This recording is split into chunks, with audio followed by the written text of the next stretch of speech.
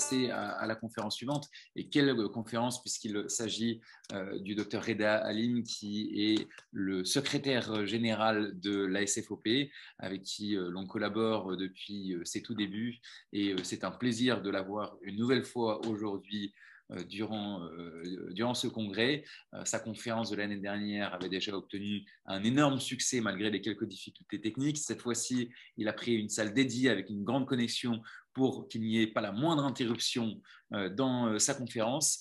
Il est enseignant hospitalo-universitaire et spécialiste en ODF à la faculté de médecine dentaire d'Alger. Il est également membre du conseil de l'ordre des médecins dentistes d'Alger et comme je vous l'ai dit, c'est le secrétaire général de la SFOP, mais aussi de la Société algérienne d'orthodontie. Il va vous présenter une conférence sur les asymétries crânio-faciales et sur les répercussions sur la fonction masticatoire. Reda, je pense que tu es déjà parmi nous. Tu peux activer tout, c'est bon, c'est... Oh là là là là, oh, Merci Guillaume, tout est prêt, tout est prêt. Donc, oh là là là, tout est prêt, tout est prêt, magnifique, j'adore. Je me tais, je te laisse la parole et à tout à l'heure pour les questions-réponses. Eh bien, chers consoeurs et confrères, bonjour à tous. C'est toujours un grand plaisir euh, que je prends part chaque fois à la participation que j'ai au congrès de la SFOP. Donc, c'est le deuxième e-congrès de la SFOP, avec un thème euh, qui, cette année, va encore rassembler euh, de nouveau les différents spécialistes de la santé de l'enfant. Donc, nous allons débattre pendant ces deux jours de problématiques liées aux troubles du développement des divers constituants du complexe crânio-facial, mais aussi de leur interaction morphofonctionnelle pathologique qui existe entre ces mêmes constituants et les fonctions orofaciales. Et bien évidemment, de la nécessité absolue de leur prise en charge précoce dès 3 ans, nous le cesserons de le répéter.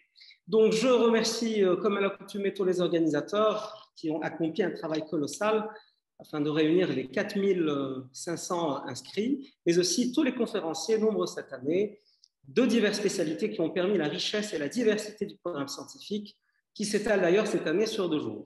C'est dire l'engouement de la communauté médicale pour la prise en charge précoce, mais aussi pluridisciplinaire de l'enfant. Alors, le thème des asymétries crânio-faciales choisi pour cette conférence mérite, à mon sens, toute l'attention des professionnels du jeune enfant qui nous écoutent aujourd'hui, qu'ils soient pédiatres, ORL, orthodontistes, ostéopathes, posturologues et orthophonistes, en raison de la comorbidité des troubles qui les accompagnent et leurs répercussions sur le développement global de l'enfant. Alors, malgré leur fréquence exponentielle, elles continuent très souvent à passer inaperçues en consultation d'orthodontie, car méconnues tout simplement des praticiens ou encore absentes des cursus universitaires. Vous l'aurez compris, leur dépistage nécessite un apprentissage préalable afin d'acquérir tous les éléments sémiologiques qui permettent leur prise en charge précoce. Alors, nous savons qu'une grande proportion des nouveau-nés euh, est asymétrique, avec euh, des manifestations crâniennes, faciales et mandibulaires de gravité variable. Selon l'étude de Stelwagen, 73% des nouveau-nés présentent au moins une asymétrie, 61% d'asymétrie crânienne, 42% d'asymétrie faciale et 13% d'asymétrie mandibulaire. Nous savons également, euh, comme l'a bien précisé la conférencière précédente, euh, nous savons que l'augmentation de la fréquence de ces asymétries est significative depuis 1992, date à laquelle l'American Academy of Pediatrics a recommandé de coucher les nouveau-nés sur le dos pour réduire tout de même de 40% le syndrome de mort subite du nourrisson. Alors, les premiers à avoir tiré la sonnette d'alarme sur cette augmentation inquiétante des asymétries crânio-faciales sont D'abord les pédiatres, au vu de l'aggravation des plagiocéphalies du nourrisson secondaire au backslip pendant les trois premiers mois de la vie, et d'ailleurs la, bibliographie euh, est aussi projetée, donc, euh, mais également à l'apparition plus tard chez l'enfant de signes d'asymétrie faciale et mandibulaire associés le plus souvent à des troubles de l'articulé dentaire. Alors, nous pouvons voir sur cette euh, panoplie de photos donc, prises d'un de mes patients qui avait été reçu pour le traitement de sa classe 3 asymétrique. Et nous voyons que déjà très tôt, à l'âge de deux mois, donc l'asymétrie existait donc au niveau de la mandibule, puisqu'il déviait déjà le menton très jeune. Donc, euh, et puis ensuite, cette asymétrie va s'installer progressivement. Et vous voyez que même la mimique, la posture linguale sont asymétriques jusqu'à l'installation progressive de la malocclusion, donc euh, à l'âge de 4 ans, donc je le recevais pour le traitement de sa classe 3. Donc nous sommes passés de signes d'asymétrie euh, crânienne à carrément une malocclusion. Donc, c'est dire que ces asymétries revêtent un caractère fortement évolutif, puisque aux étiologies prénatales, qui sont liées aux conditions de grossesse ou d'accouchement dystocique, vont se surajouter des étiologies postnatales secondaires, telles que le backslip ou le maxicousie aussi, qui conduisent vers la dégradation du tableau clinique et l'installation d'anomalies associées, telles qu'une asymétrie faciale, une latérodéviation mandibulaire, des troubles de l'occlusion, mais aussi des troubles à distance, tels que des troubles oculaires ou auriculaires, donc, ou des troubles posturaux. Donc, euh, vous l'aurez compris aussi, les pédiatres jouent un rôle clé dans le dépistage précoce des asymétries orofaciales afin d'endiguer le plus tôt possible cette cascade dysmorphique. Alors, mais quelle relation existe en réalité entre crâne, face et système dentaire ou occlusion Alors, nous savons que la face est appendue à la base du crâne. Il existe de ce fait des liens anatomiques évidents entre maxillaire mandibule et base du crâne. C'est ainsi que le maxillaire est relié donc, à la base du crâne par les apophyses périgoïdes, donc du sphénoïde visible en jaune. La mandibule, quant à elle, est connectée à la base du crâne par les cavités glénoïdes des os Donc, nous savons aussi que la croissance des maxillaires est sous l'influence du remodelage de la base du crâne. Donc, euh, il existe à côté des relations anatomiques qui sont évidentes, une véritable biodynamique de croissance entre ces deux entités tout au long de l'ontogénèse. Alors, ce phénomène de flexion de la base du crâne, le phénomène ontogénique de remodelage de la base du crâne, donc, se caractérise par une pliure, comme nous le voyons ici, du segment antérieur de la base du crâne, qui est représenté par le segment fronto-ethnoïdo-présphénoïdal, sur le segment postérieur, donc qui est sphéno-occipital. Alors, bien sûr, cette pliure est secondaire à l'enroulement de l'occipital, qu'on visualise ici par cette flèche bleue, et du sphénoïde en contresens, visualisé à l'aide de la flèche jaune. Et bien évidemment, cette pliure est matérialisée par l'angle sphénoïdal. Alors bien sûr, ce phénomène a été décrit par plusieurs auteurs, dont de la Tréfénard depuis très très longtemps, hein, 1954. Alors cette flexion euh, n'a ni la même amplitude ni la même vitesse d'exécution chez tous les individus. Et nous voyons sur l'image de gauche une base trop fléchie, donc une flexion accélérée.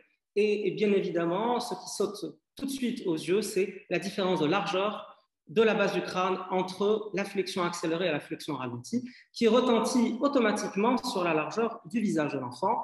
Et nous voyons ici que pour les bases du crâne qui sont trop fléchies, le visage est large, alors que pour les bases du crâne qui sont ralenties, dont la flexion est ralentie ou peu fléchie, le visage est plutôt étroit, comme ce qu'on retrouve souvent dans les cas de classe alors, bien sûr, elle débute en période euh, fétale et se poursuit jusqu'à l'âge de 6 ans, date de l'éruption de la première molaire. C'est-à-dire qu'à la naissance, 80% de la flexion est déjà réalisée et pour nous, il nous restera ces 20% qui pourraient représenter une véritable fenêtre thérapeutique. Alors, pour que la base du crâne puisse conserver sa symétrie, la cinétique occipitale et sphénoïdale doivent s'exécuter sur des axes rigoureusement parallèles, matérialisés par ces deux lignes, alors, c'est à cette unique condition que la face, maxillaire et mandibule, et bien évidemment, occlusion, système dentaire, arrivent à maintenir leur symétrie par rapport au plan sagittal médian. Il existe en effet des relations topographiques étroites entre le sphénoïde et le maxillaire. Donc, l'écartement de l'apophyse périgoïde, que nous voyons ici à ce, niveau-là, il y a une connexion anatomique directe, entre le maxillaire et l'apophyse du sphénoïde. L'écartement donc symétrique de ces apophyses périgoïdes accompagne bien sûr le remodelage sphénoïdal et assure surtout la symétrie transversale de l'arcade maxillaire, alors que le positionnement vertical des extrémités inférieures de ces apophyses périgoïdes vont, elles, commander la symétrie verticale du maxillaire de façon à le mettre bien euh, parallèle au plan podal, c'est-à-dire un plan d'occlusion supérieure bien parallèle au plan podal. Donc, le remodelage des asymétries du sphénoïde est garant de la symétrie transversale et verticale du maxillaire. Voyons à présent ce qui se passe au niveau de la mandibule. Alors, son positionnement symétrique dans les cavités glénoïdes est en relation directe avec la symétrie des os temporaux, visualisée par les axes verts. Ces axes doivent être parfaitement symétriques, donc le remodelage des pyramides pétreuses et la frontalisation, l'avancée donc la poussée de ces os temporaux par le gouvernail postérieur qui est l'occipital devra bien sûr se faire de façon symétrique pour assurer bien ce positionnement symétrique des cavités glénoïdes et secondairement des articulations temporomandibulaires. Donc un remodelage osseux symétrique des os temporaux semble une condition indispensable pour le positionnement optimum des deux articulations temporomandibulaires et l'accomplissement d'une balance masticatoire symétrique. Alors bien sûr, c'est une des premières conditions crâniennes de l'établissement d'une mastication unilatérale alterne. Alors, c'est cette prédisposition architecturale symétrique du maxillaire et de la mandibule, sous influence basicrânienne, qui préfigure la normocclusion statique, mais également dynamique en denture temporaire dans les trois sens de l'espace, nous appelons aussi classe 1 donc d'angle, euh, mais également dynamique par l'accomplissement des latéralités masticatoires. Alors, bien sûr, je précise que tout au long de la conférence, euh, il s'agira de latéralités masticatoires, de trajectoires euh, masticatoires qui correspondent à une latéralité crânienne, mais qui n'a rien à voir avec les angles fonctionnels masticateurs de Planas, qui eux donnent un autre type de mouvement de latéralité au niveau de la mandibule, que nous expliquerons tout à l'heure si toutefois question il y a là-dessus. Alors maintenant, que se passe-t-il lorsque le remodelage occipito-sphénoïdal s'opère sur des axes non parallèles? Donc la symétrie de la base du crâne est perdue et avec elle la symétrie du maxillaire de la mandibule, mais aussi du système dentaire et de l'occlusion, donc la malocclusion apparaît. C'est ainsi qu'une asymétrie du remodelage sphénoïdal retentit sur la symétrie transversale et sagittale du maxillaire, alors, bien sûr, du fait des connexions anatomiques, nous pouvons très facilement voir que les apophyses périgoïdes sont vraiment juxtaposées, donc elles sont juste à côté du maxillaire et que le maxillaire n'est séparé de ces apophyses que par une petite lamelle qui correspond à l'os palatin. Alors, bien sûr, euh, cette belle asymétrie euh, donc transversale et sagittale du maxillaire sur os sec est visible sur les crânes déformés intentionnellement qui sont exposés euh, dans certains musées, dont euh, le musée donc, euh, de Lima au Pérou. Alors, bien sûr, en bouche, nous n'allons pas chercher ce décrochage structural, parce que même s'il est très facilement visualisable sur cette planche, il n'est pas possible pour nous de visualiser qu'il y a un décalage entre une maxillaire droit et une maxillaire gauche. Par contre, la position, donc la superposition plutôt d'une grille de symétrisation sur la voûte palatine nous permet très facilement de déceler ces petites asymétries intra-arcade positionnelle des dents, qu'elles soient donc euh, dans le sens antéro-postérieur ou sagittal. Et on le voit très bien entre 53 et 63, entre 55 et 65. Alors, bien sûr, autre conséquence de l'asymétrie euh, sphénoïdale, c'est le retentissement sur la position verticale et donc sur l'asymétrie des positions orbitaires. Alors, il y, a, il y a un lien anatomique aussi entre les petites ailes du sphénoïde et les cavités orbitaires, puisque le sphénoïde forme quand même la majeure partie de la cavité orbitaire. Et chez les patients qui présentent donc des euh, asymétries euh, orbitaires, cela reviendrait à dire que leur sphénoïde est tout simplement mal positionné et donc asymétrique. Enfin, L'asymétrie sphénoïdale qui nous intéresse au plus haut niveau, puisqu'elle touche le maxillaire supérieur, qui est donc le plafond sur lequel nous allons nous travailler en tant qu'orthodontiste. Donc, en cas d'asymétrie verticale du sphénoïde, ceci va s'exprimer par une bascule frontale du plan d'occlusion, qui est bien sûr une porte ouverte, qui, est une véritable prémisse de balance masticatoire asymétrique. Donc, retenons que l'asymétrie du sphénoïde est donc déterminante pour la symétrie transversale et verticale du maxillaire et également sur la position des os. Alors maintenant, au niveau de la mandibule, alors ce crâne euh, nous a été euh, gentiment prêté par le professeur Dolaire, euh, où j'ai gentiment pris l'initiative de prendre des photos de ce crâne quand j'avais fait mon stage chez lui. Et là, on voit, c'est un crâne de classe 3, donc un enfant qui doit avoir, qui doit être, qui doit avoir 6 ou 7 ans d'âge dentaire. Et nous voyons en fait sur la base du crâne des signes d'asymétrie euh, au niveau des deux temporaux, donc le remodelage entre le temporal droit et le temporal gauche. Donc, euh, elle s'exprime par une désaxation, cette, euh, asymétrie du remodelage donc, du temporal, qui va donner une asymétrie de la cavité glénoïde et bien sûr carrément une déviation du corps de la mandibule et nous pouvons voir ici que sur ce squelette de face, il existe réellement une déviation mandibulaire gauche, visible par la déviation des points interincisifs. Donc, euh, lorsque nous zoomons sur la région des cavités glénoïdes, eh nous notons qu'il existe un remodelage asymétrique entre le l'ATM droite et l'ATM gauche. Et bien évidemment, euh, cette asymétrie ou ce remodelage asymétrique de l'articulation temporomandibulaire retentit sur la symétrie de la balance masticatoire. Et nous pouvons voir sur ces photos, donc euh, les photos d'un jeune patient qui, qui, présentait un articulé croisé donc gauche. Alors lorsque nous nous mettons en latéralité, ben, la latéralité est complètement différente. Et nous voyons ici un trajet donc, masticatoire qui est beaucoup plus long, beaucoup plus frontal, beaucoup plus horizontal qu'un trajet droit qui, lui, est beaucoup plus vertical et limité euh, dans le plan frontal. Alors, il y aurait donc une réelle relation entre l'asymétrie du crâne et celle de la face, c'est-à-dire maxillaire et mandibule, et celle du système dentaire. C'est exactement ce cheminement qui nous intéresse pour comprendre l'origine des malocclusions que nous rencontrons chez le jeune enfant. Donc, il n'est donc pas aléatoire de recevoir en consultation des mandibules déviées d'un côté ou de l'autre, ou des troubles de l'articulé, tels que des articulés croisés à droite ou à gauche. Et bien sûr, ça n'est sûrement pas au niveau des dents et de l'occlusion que nous trouverons réponse à nos interrogations. Il faudra donc pousser à la réflexion et voyager beaucoup plus haut et remonter vers la base du crâne. Alors, ces asymétries, lorsqu'elles surviennent, retentissent également sur l'accomplissement des fonctions euh, orofaciales. Et je pense que nos amis posturologues et orthophonistes peuvent l'attester que lorsque le visage est asymétrique, parce qu'il existe des asymétries crâno-faciales, l'accomplissement des fonctions orofaciales le sera aussi, et notamment pour la symétrie de la balance masticatoire. Donc, en effet, cette balance masticatoire doit être rigoureusement symétrique en denture temporaire. Elle est le reflet du remodelage symétrique de la base du crâne.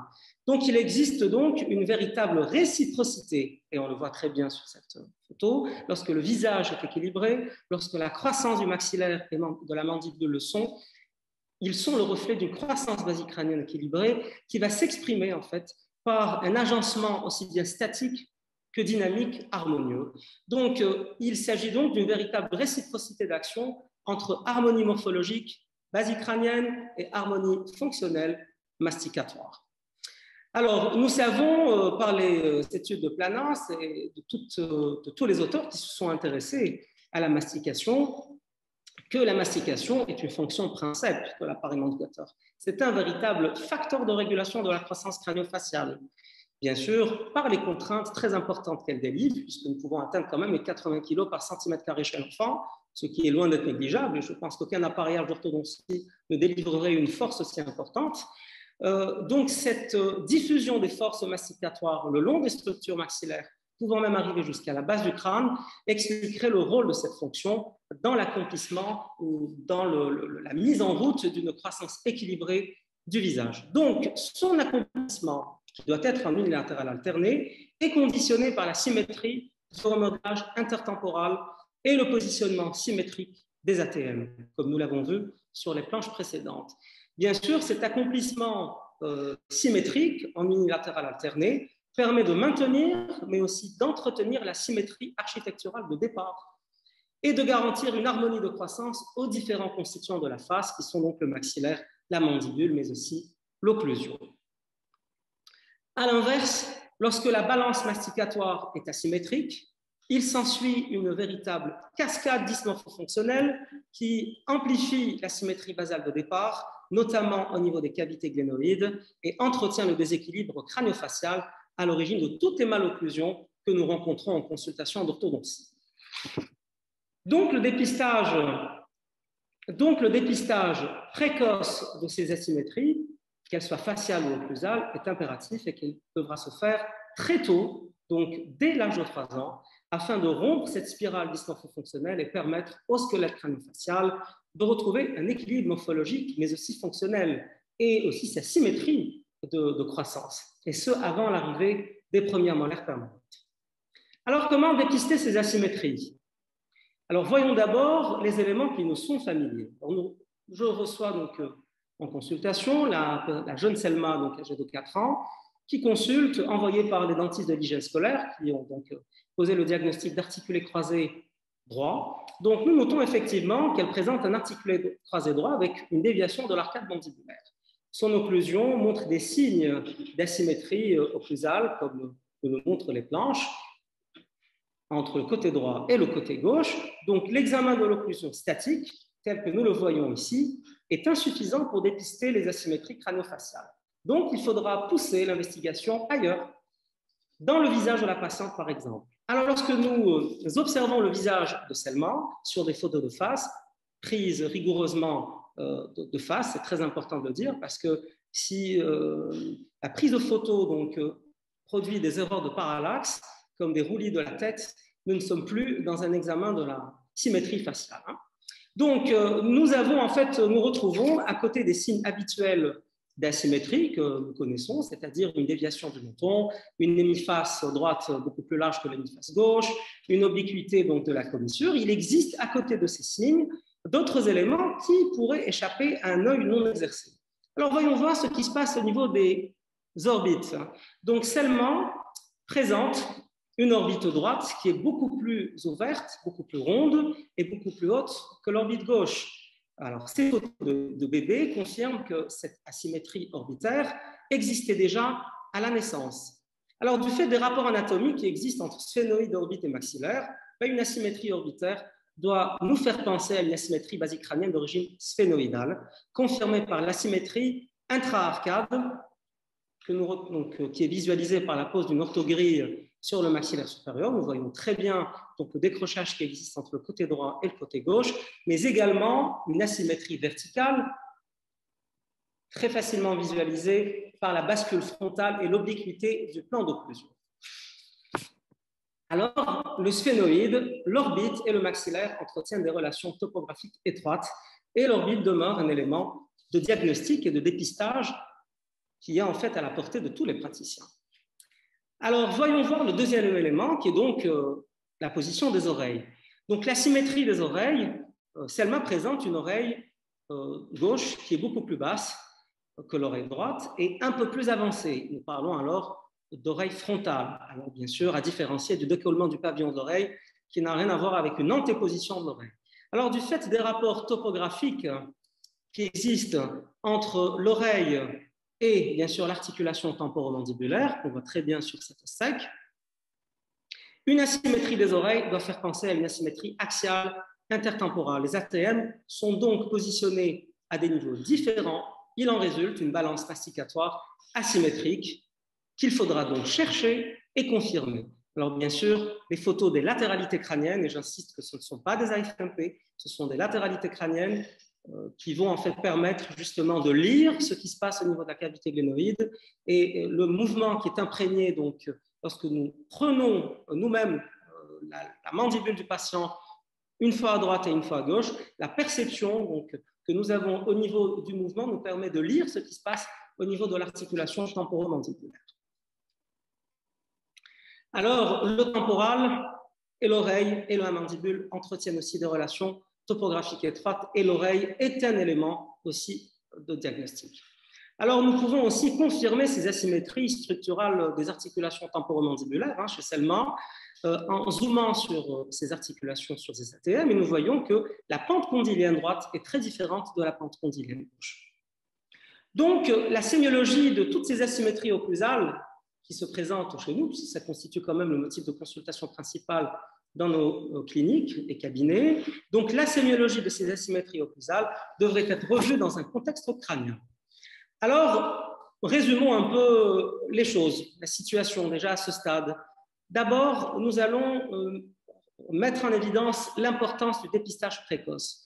Donc, les signes d'une asymétrie crânio-faciale sont nombreux, nous l'avons vu.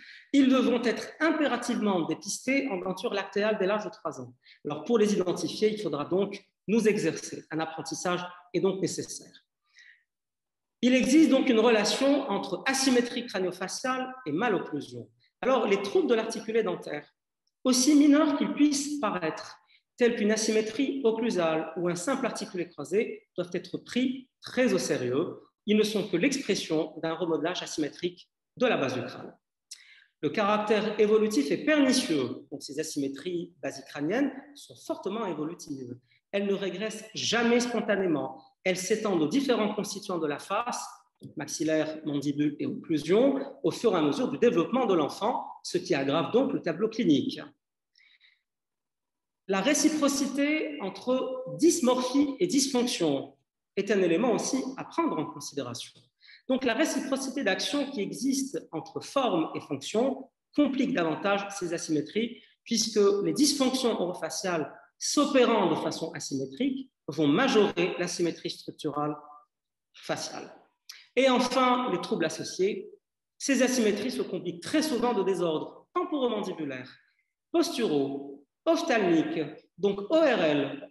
Les ORL peuvent nous confirmer, les ophtalmos aussi, donc des strabismes, des otites, mais aussi surtout le trouble cognitif euh, qui viendrait compliquer le développement de l'enfant en relation avec son entourage. Alors, tous ces éléments sont autant de justifications pour une intervention précoce, médicale, pluridisciplinaire des asymétries crânio-faciales. Alors, en orthodontie, puisqu'il s'agit de notre spécialité, la, la thérapeutique est double. Donc, il faudra donc d'abord corriger la dysmorphie par une action orthopédique, puis les dysfonctions orofaciales par rééducation fonctionnelle. Alors, ces deux thérapeutiques sont indissociables et elles permettent en fait de rétablir les conditions morphologiques et fonctionnelles pour équilibrer le squelette facial et lui redonner une nouvelle trajectoire de croissance. Notre action donc portera sur la symétrisation du plafond maxillaire. Donc il faudra toujours symétriser le plafond maxillaire, donc donner la possibilité euh, donc, euh, euh, de, récupérer sur le plan morphologique la symétrie du maxillaire de la voûte palatine pour que enfin puisse s'installer une fonction masticatoire symétrique à droite et à gauche. Donc il faudra donner à cette fonction masticatoire toutes les conditions morphologiques nécessaires pour qu'elle puisse s'accomplir dans des conditions euh, optimum donc d'harmonie et de symétrie. Donc, il est impératif de symétriser la balance masticatoire dès l'âge de 6 ans. Alors, bien sûr, à côté de la mastication, toutes les autres fonctions orofaciales doivent être bien évidemment corrigées. Euh, tout changement de forme de la bouche euh, produit donc induit ou impose une rééducation fonctionnelle indispensable. Alors, voyons voir deux cas cliniques qui seront présentés en fait en détail. Alors, d'abord, le cas de la jeune Yakout qui a consulté donc à l'âge de 4 ans, envoyé toujours hein, par les hygiénistes scolaires qui ont la chance de voir les enfants avant les orthodontistes en Algérie ou du moins. Donc, euh, elle nous a été orientée pour euh, ce trouble de l'articulé. Donc, vous voyez, donc, euh, un articulé croisé droit avec des signes de déviation euh, de l'arcade mandibulaire euh, évidents. Alors, euh, lorsque nous examinons le visage de Yarkot, eh ben, nous verrons, nous confirmons qu'il existe effectivement des signes d'asymétrie faciale communs, tels que la latérodéviation, la déviation du menton donc à droite, une, obliquité de la ligne bicommissurale, une pommette donc droite un peu plus large que la pommette gauche. Donc, ce sont des signes communs. Lorsque nous poussons l'investigation plus loin, donc, nous verrons que les oreilles de la, petite patiente donc, sont asymétriques, que ce soit en position verticale ou en antéro-postérieure.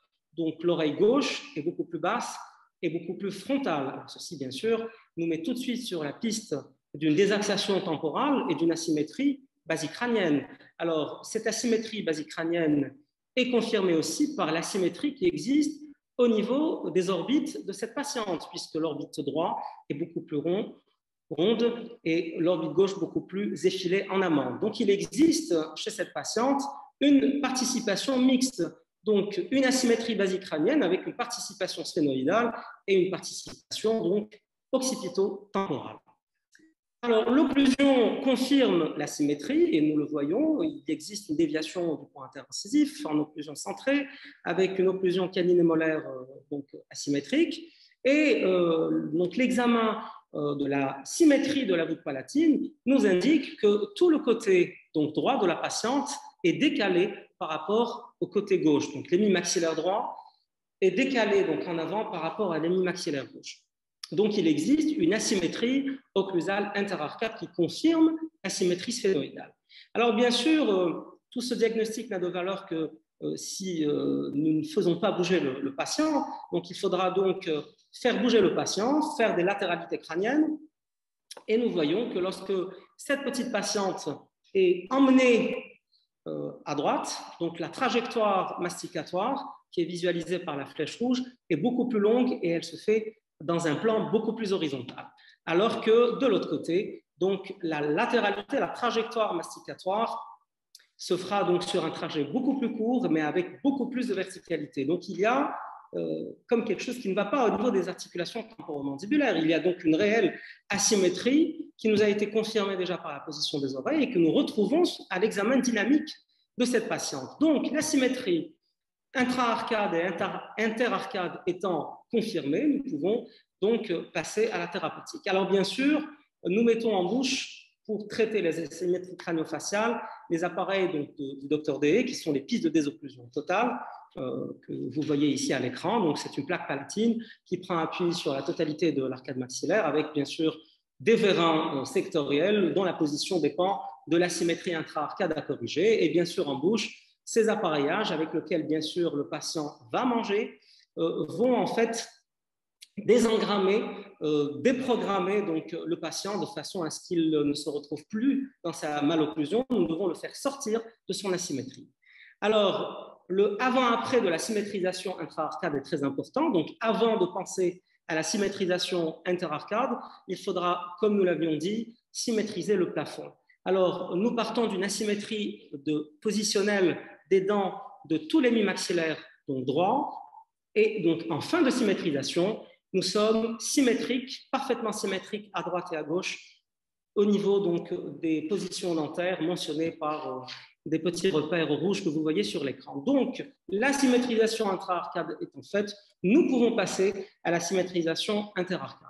Alors, bien sûr, mise en place euh, bien sûr, nous euh, revisualisons les asymétries, euh, les asymétries de trajectoire masticatoire avec bien sûr une asymétrie de la latéralité masticatoire droite et gauche.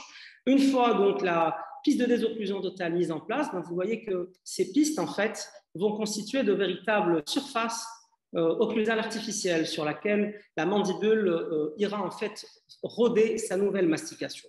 Donc, en fonction de l'épaisseur donc des pistes, nous allons donc orienter la mandibule vers le côté souhaité. Et donc là, nous l'avons fait sortir de son asymétrie droite pour la bloquer donc à droite, donner plus de verticalité au mouvement mandibulaire et au contraire euh, permettre une plus grande latéralité du côté gauche de façon à déprogrammer la patiente et à symétriser sa trajectoire masticatoire.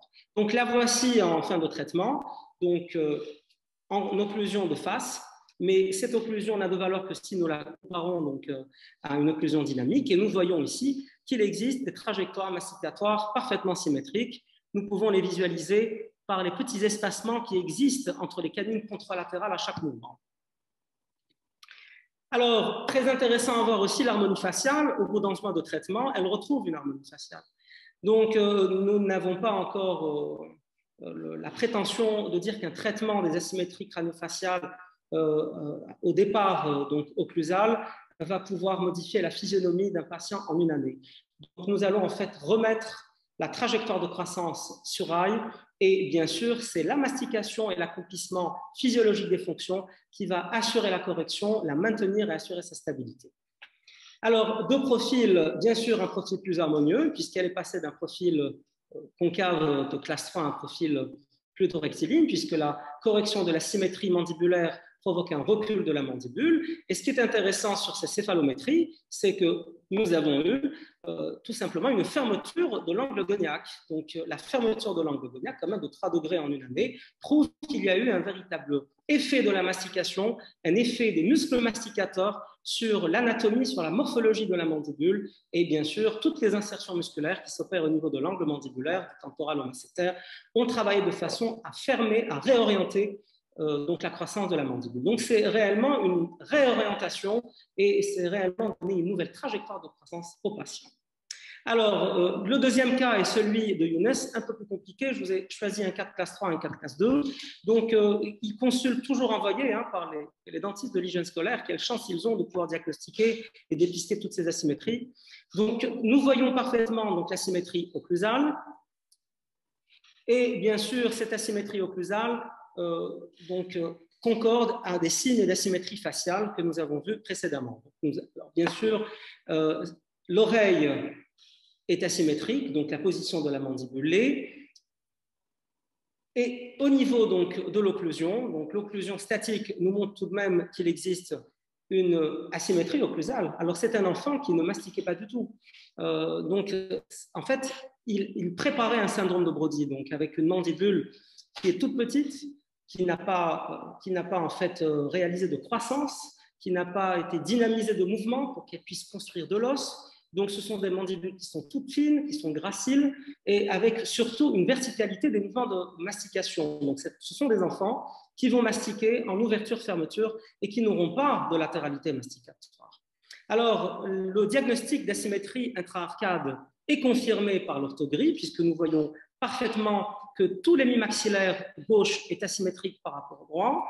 Et bien sûr, cette asymétrie euh, intra-arcade concorde est confirmé aussi par la symétrie interarcade. Voilà pourquoi il est très important de symétriser le plafond pour ensuite passer au plancher. Alors, donc la symétrie interarcade est confirmée avec une latéralité tout de même très réduite. Euh, donc sur un plan horizontal, ce sont des mouvements de latéralité réduits. C'est un impotent masticatoire, c'est un enfant qui va mastiquer en ouverture-fermeture. Alors, d'abord une symétrisation intra-arcade à l'aide des pistes de désocclusion totale et bien sûr des vérins de symétrisation. Nous l'avons mis bien centré et bien symétrique. Nous pouvons passer à la symétrisation de sa fonction masticatoire. Alors, le point de départ est bien évidemment une mastication préférentielle gauche et le point d'arrivée, euh, plutôt droite, et le point d'arrivée serait donc une mastication préférentielle gauche. Nous devons en fait emmener, faire sortir l'enfant de, sa, euh, de son asymétrie euh, donc, structurale, mais aussi fonctionnelle. Alors, mise en place des PDT, nous voyons déjà que lorsque nous mettons les PDT, la mandibule se recentre d'emblée. En fait, ces pistes de désocclusion euh, avec lesquelles l'enfant mange vont donner une meilleure proprioception que lorsqu'il devait manger sans ces pistes. Et d'ailleurs, les enfants habitués aux pistes préfèrent manger avec plutôt que manger sans. Alors, nous voyons ici que euh, le réglage des pistes a été fait de façon à inverser les latéralités masticatoires. Et nous terminons euh, ce cas par un Frankel de recentrage, qui est un appareillage qui va permettre de corriger la bascule du plan d'occlusion, dont je ne rentre pas dans les détails, mais qui nous permet aussi de rééduquer les fonctions, puisque l'enfant va déglutir avec son frankel arcade serré, donc va repositionner la langue de palais, va parler avec son frankel arcade serré, donc nous allons faire de la rééducation orthophonique. Et bien évidemment, le voici après 12 mois de traitement, donc nous sommes passés tout de même d'une mandibule toute petite, toute fine, toute gracile à une mandibule qui est quand même bien imposante euh, donc euh, au niveau de son articulé dentaire. Alors, sur le plan facial, un changement radical. Donc l'enfant change radicalement et puis il gagne confiance. Donc nous l'avons fait sortir de son, de son, asymétrie, mais aussi de son introversion, puisque vous voyez tous les tics et toutes les mimiques qu'il avait au départ n'existent plus. Donc il y a en fait un équilibre facial qui s'est installé au fur et à mesure du traitement. Alors deux profils aussi très intéressants euh, des éléments très intéressants à, noter, qui est donc le repositionnement mandibulaire ou l'antéposition de la mandibule, donc qui s'est faite et qui est confirmée radiologiquement. Alors, regardez comment nous sommes passés d'une mandibule toute fine à angle goniaque très ouvert à une mandibule quand même beaucoup plus robuste qui a fermé son angle mandibulaire. Et cette fermeture d'angle goniaque est confirmée céphalométriquement, puisque nous sommes quand même passés d'un angle de 128 à 117, ce qui prouve que la fonction masticatoire a eu donc euh, un effet morphogénétique sur la croissance de la mandibule. Alors, en conclusion, nous dirons que les asymétries crânio-faciales sont aujourd'hui assimilées à de véritables désordres structuraux et fonctionnels de l'appareil manducateur. Donc, présente à la naissance et déjà bien ancrée en denture temporaire, leur dépistage et leur prise en charge devront se faire précocement dès l'âge de 3 ans. Leurs conséquences sont délétères sur la croissance crânio-faciale, mais également sur l'accomplissement dysfonctionnel de la balance masticatoire, méritent aujourd'hui toute notre attention. Le rétablissement de l'équilibre morphologique, fonctionnel du squelette crânio-facial par la réhabilitation de la fonction masticatoire apparaît aujourd'hui comme une solution médicale concrète au problème des asymétries crânio-faciales de l'enfant. En freinant leur évolution pernicieuse, l'intervention précoce avant l'éruption de la première molaire s'impose comme une véritable démarche préventive qui met l'enfant à l'abri des désordres structuraux et troubles associés. Je vous remercie de votre attention.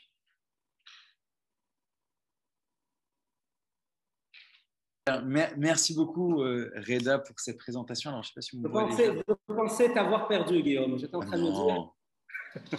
Tout de même. Reda, pour qui me prends-tu? Non, non, non. Euh, merci beaucoup pour cette conférence pour euh, laquelle on a reçu de nombreux messages en direct.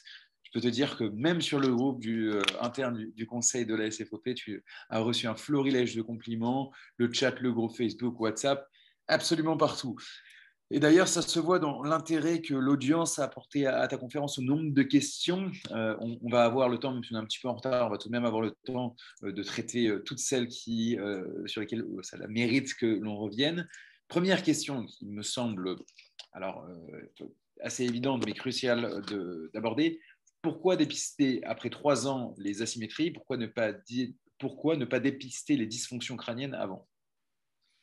Alors, donc, euh, on avait bien précisé que le rôle des pédiatres était primordial, puisque c'était eux qui, en fait, qui avaient, qui avaient la possibilité d'examiner les enfants très jeunes et de leur naissance. C'est-à-dire que, sitôt arrivé, donc nourrisson, c'est le pédiatre qui va, par un examen euh, biométrique, euh, vérifier si le crâne n'est pas atteint de méplats, de plagiocéphalie. Et donc, arrivé donc chez l'orthodontiste, l'enfant, en fait, devra se mettre sur fauteuil, et donc il devra avoir atteint une certaine maturité euh, psycho-affective pour qu'on puisse le mettre sur fauteuil. Donc, euh, en tant qu'orthodontiste, si nous avions la possibilité déjà d'informer euh, les parents par une collaboration entre orthodontistes et pédiatres, la situation serait complètement différente, puisqu'aujourd'hui, beaucoup d'asymétries ne sont pas diagnostiquées. Et, pour reprendre un peu le, la, photo qu'avait euh, projetée hier Karine sur Patrick Fiori, ben, Patrick Fiori était asymétrique étant enfant, mais effectivement, la, symétrie n'était pas visible. Ça n'était pas visible puisque nous ne l'avons pas cherché.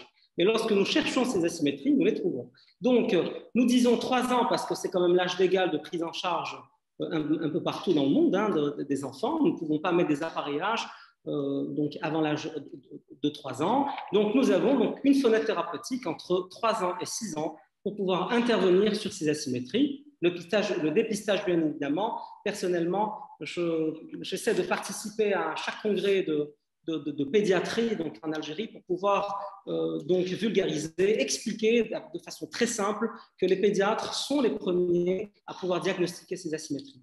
Donc, euh, dépistage précoce, oui, chez l'orthodontiste, il ne pourra pas se faire avant l'âge de 3 ans, bien évidemment. Euh, quelle différence euh, y a-t-il donc entre latéralité crânienne et les AFMP euh, En visuel, vous montrez le même examen et les mêmes notations? Alors, d'abord, il faudra quand même préciser que les asymétries crânio-faciales sont dépistées chez le tout jeune enfant, donc comme nous l'avons dit, entre 3 et 6 ans. Alors, l'articulation temporomandibulaire n'a pas encore atteint toute sa maturité à 3-4 ans. Et nous avons, comme je l'ai précisé, une fenêtre thérapeutique qui est de 4 années, donc 3, donc 3 4 années, qui euh, nous permettrait de corriger ces asymétries. Alors, le fait d'examiner les latéralités masticatoires euh, comme euh, le font les planaciens reviendrait en fait à mettre le patient dans une position, l'enfant dans une posture assise sur fauteuil. Et donc, il est soumis aux lois de la gravité, aux tensions donc aponeurotiques, musculaires, tendineuses, qui feront que sa mandibule, en fait, est commandée par la posture. Donc, c'est ce qu'on appelle une occlusion donc, posturale. Par contre, lorsque nous faisons de l'orthopédie crânio-faciale, parce que c'est de ça dont il s'agit dans ma communication, ça n'est pas de l'ODF, ça n'est pas de l'orthopédie dentofaciale, nous sommes dans de l'orthopédie crânio-faciale sur un crâne encore immature. Donc, l'examen des latéralités masticatoires euh, se fait dans une position de décubitus dorsal de façon à ce que l'enfant renverse la tête, donc, et c'est au praticien de guider la latéralité, parce que vous pensez bien qu'un enfant de 3-4 ans ne connaît pas le côté droit et le côté gauche toujours, et c'est quand même assez difficile et très subjectif de demander à un enfant de partir à droite ou à gauche comme on pourrait le faire euh, pour un enfant un peu plus euh, mature lorsque nous faisons des AFMP. Donc, la procédure est complètement différente. Donc, l'AFMP va vous donner une lecture des, des morphologies cuspidiennes euh, la latéralité crânienne va vous permettre de lire dans l'articulation temporomandibulaire, puisque lorsque vous prenez la mandibule de l'enfant et lorsque vous l'emmenez donc à droite ou à gauche dans une, position de décubitus, vous allez en fait lire le remodelage qui a été fait euh, donc au niveau de la cavité glénoïde par le mouvement que ferait le condyle mandibulaire dans cette cavité glénoïde. Donc, vraiment à différencier. Latéralité crânienne et AFMP sont deux choses complètement différentes. sur les photos, la situation ne se voit pas, euh, mais bien évidemment, lorsque nous faisons de l'orthopédie crânio-faciale, nous avons besoin de mettre les condyles mandibulaires à fond dans les cavités glénoïdes pour qu'on puisse lire ce qu'il y a à l'intérieur. Alors que lorsque nous sommes dans une position, dans une posture assise, le condyle se détache de la cavité glénoïde et nous n'avons plus cette possibilité de voir ce qui se passe au niveau crânien. Voilà. J'en profite pour rappeler à toute l'audience euh, que vous pouvez voter pour les questions qui vous semblent les plus pertinentes afin qu'on puisse les poser directement en live, parce qu'évidemment, quand il y a 20, 30 questions, on ne peut pas toutes les poser. Euh, question de, Jean Smith sur euh, les axes masticatoires de Planas, sur lesquels je crois que le docteur Salaniak reviendra, et qui de, demandait de revenir sur ce point non exposé. Eh pour revenir sur ce point non exposé, il faudra probablement regarder le replay.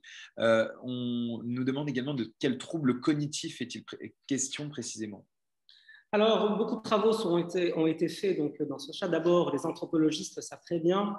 Euh, il, y a, donc, il y a des asymétries euh, du cerveau qui euh, s'observent tout au long de, la phylogénèse déjà et de l'antogénèse de l'espèce humaine, donc des Homo sapiens sapiens que nous sommes aujourd'hui.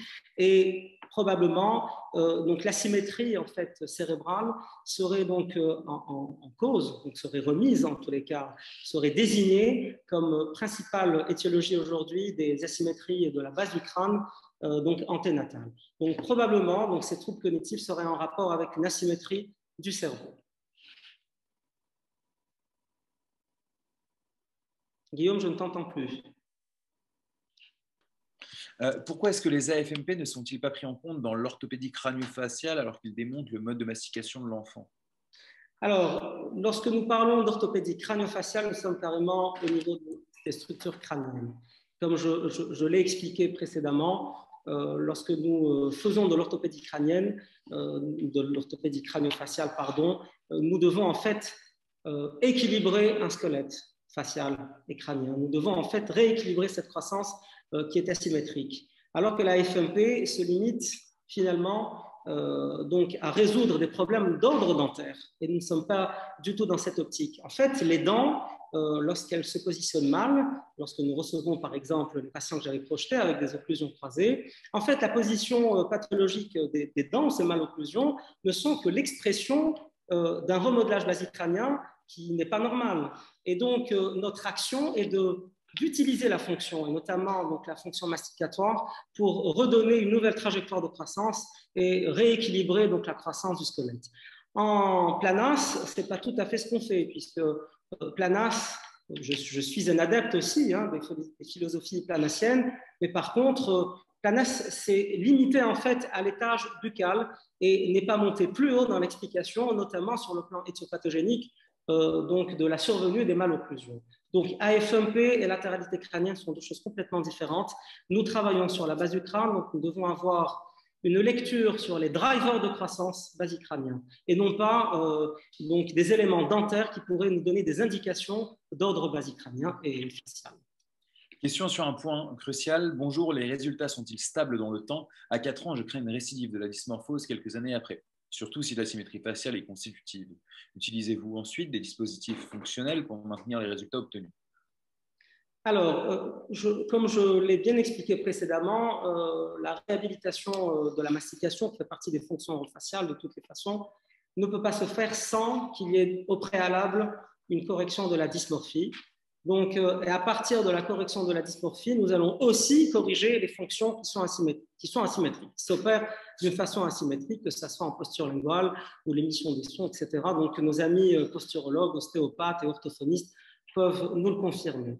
Donc, euh, en termes de stabilité thérapeutique, lorsque nous euh, traitons un enfant en orthodontie pédiatrique, ça n'est pas une étape intermédiaire, ça n'est pas un traitement qui prépare l'arrivée des dents permanentes pour qu'on puisse faire un peu d'orthodontie ou de ne pas en faire. C'est un réel traitement euh, curatif à part entière.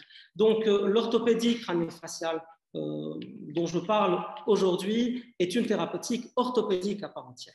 Et donc, lorsque nous parlons de stabilité de l'anomalie, ce n'est pas la philosophie thérapeutique qui devrait être mise en cause, mais plutôt la liste des différentes étiologies et de la boucle de la cascade dysmorphofonctionnelle qui devra être établie à l'avance. Et euh, les asymétries crâno-faciales, puisque euh, elles s'expriment par des malocclusions, font partie aujourd'hui, donc la croissance de la base du crâne, la flexion de la base du crâne, donc les asymétries euh, qui vont s'opérer au niveau de la flexion basicrânienne, sont aujourd'hui considérées comme un facteur éthiopathogénique, donc d'un majeur dans la survenue des malocclusions. Donc, une stabilité, nous l'aurons que, si nous aurons symétrisé le squelette et que nous aurons aussi donné la possibilité à ce squelette de continuer à croître normalement par l'accomplissement de fonctions orofaciales symétriques équilibrées. Alors, pour les éducateurs fonctionnels, bien sûr qu'on peut en mettre, j'utilise aussi, j'utilise des éducateurs fonctionnels, j'utilise donc des froggy mouth, puisque nous savons très bien qu'il y a une relation intime entre forme et fonction, et donc nous devons rompre justement euh, ce couple dysmorphie-dysfonction. tous les moyens sont bons pour que nous puissions en fait traiter ces asymétries aussi bien sur le plan structural que sur le plan fonctionnel. Et à quel moment de la prise en charge est-ce que tu utilises des appareils fonctionnels? Alors, donc, on les utilise soit très précocement, c'est-à-dire en l'âge de 3 ans, lorsque nous avons la chance de, croiser, par exemple, en, en salle d'attente, donc le frère ou la petite sœur d'un de nos patients qui est tout jeune, qui voudrait voir le docteur Alim, parce que ça arrive très souvent. Donc, euh, on le ramène, pour et puis là, moi, j'en profite pour faire un dépistage. Alors, s'il y a des troubles orofonctionnels, et bien sûr qu'on intervient avant donc, euh, la mise en route euh, d'une thérapeutique qui agira sur la symétrisation de la balance masticatoire. Donc, il faudra le faire sitôt l'anomalie constatée et lorsque aussi les capacités cognitives et euh, lorsque la maturité psycho-émotionnelle de l'enfant le permet. Bien sûr, la coopération étant le point euh, crucial et le plus important pour toute la rééducation fonctionnelle. On peut obtenir, on peut espérer de, bons résultats sans la, coopération des patients. alors justement, j'insiste parce que coopération d'un enfant de 3-4 ans, c'est surtout coopération des parents, parce que ce sont les parents qui doivent en fait s'atteler à suivre scrupuleusement les consignes. Il faudrait qu'ils soient convaincus. Alors, je l'ai toujours dit, et même quand j'enseigne, tous les patients ne sont pas candidats à un traitement d'orthodontie précoce et tous les parents ne le sont pas non plus. Donc, euh, les parents doivent en fait jouer le jeu. Donc, ils doivent faire partie intégrante du traitement. Et comme je le dis aux mamans, vous êtes l'actrice principale dans ce traitement je suis là pour vous guider sur ce que vous devez faire à la maison avec votre enfant. Par exemple, la mastication, rééducation de la mastication sur des, pistes de désocclusion totale se fera par des exercices, par une gymnastique masticatoire quotidienne, comme le ferait euh, un kinésithérapeute pour redynamiser une atrophie musculaire, parce qu'en fait, c'est ce qui se passe. Nous travaillons sur l'atrophie musculaire pour fabriquer de l'os et faire des bases osseuses beaucoup plus épaisses et beaucoup plus solides. Donc, euh, la mastication va se faire sur des aliments texturés, fibreux, alors, on ne va pas donner des bananes pour ça. On ne donnera pas de la bouillie, on ne donnera pas un steak haché, on donnera des rondelles de carottes, on donnera des amandes, des biscottes, donc euh, du pain croustillant, donc des choses qui feront en fait que l'enfant puisse développer euh, carrément un effort masticatoire. Et là, je le redis encore, le rôle des parents est primordial. Donc, ça n'est pas l'enfant, ce n'est pas la coopération ou la motivation de l'enfant qui détermine la réussite de ces traitements. Si l'enfant est prêt à, recevoir son traitement, et ça, on arrive à le déceler tout de suite à la première, deuxième consultation, lorsque l'enfant est caché derrière sa maman et très introverti, on sait qu'on ne peut pas l'approcher facilement. Par contre, et qui nécessite bien sûr de faire plusieurs séances pour le mettre en confiance. Par contre, vous avez des petits bonhommes des petites jeunes filles qui rentrent comme ça, comme de grands monsieur, qui s'installent sur le fauteuil. Là, on sait qu'on peut y aller. Mais à côté de ça, les parents doivent suivre aussi. Et, euh, à quel moment est-ce que tu utilises uniquement euh, des exercices? Et à partir de quel moment est-ce que tu utilises des exercices couplés à un dispositif de rééducation? Alors, euh, étant donné que euh, la piste de désocclusion totale est mise en permanence, c'est-à-dire que nous devons déprogrammer l'enfant. Il faudrait que l'enfant perde tous ses repères proprioceptifs, euh, donc archaïques, finalement, ce sont des réflexes archaïques aussi, et nous le déprogrammons par la pose, en fait, de surface occlusale artificielle, qui sont donc des pistes en résine. Donc, l'alimentation, je veux dire, les repas vont se faire avec, avec l'appareillage. Donc l'enfant va manger avec son appareil. Et en plus de l'alimentation, parce qu'on n'a pas toujours des carottes, des rondelles de carottes à table, et puis bon, ensuite, euh, un enfant va prendre du temps, surtout lorsqu'il est impotent masticatoire, à, mastiquer des aliments fibreux, texturés. Donc les mamans s'impatientent, ne peuvent pas, c'est des mamans qui travaillent, elles ne peuvent pas euh, passer quand même une heure de temps euh, à chaque fois pour que l'enfant puisse mastiquer. Donc, en dehors des repas, je rajoute, je préconise des exercices masticatoires, 4-5 rondelles de carottes épaisses, et on transforme tout ça en bouillie, en présence bien évidemment des parents. Alors, il faut expliquer à l'enfant, très important, il faut quand même que l'enfant soit conscient de ce qui se passe, il faut l'aider à retrouver son côté masticant, soit en mettant des petits repères, un petit bracelet, euh, quelque chose qui pourrait faire rappeler donc à l'enfant qu'il faudrait qu'il parte de ce côté-là. Et l'apprentissage, la rééducation, la réhabilitation de la mastication se fait exactement comme un exercice de kinésithérapie. Reda, nous te remercions de, tous tes efforts pour pouvoir euh, donner ta conférence dans les meilleurs moyens techniques possibles. C'est toujours un plaisir de travailler avec toi.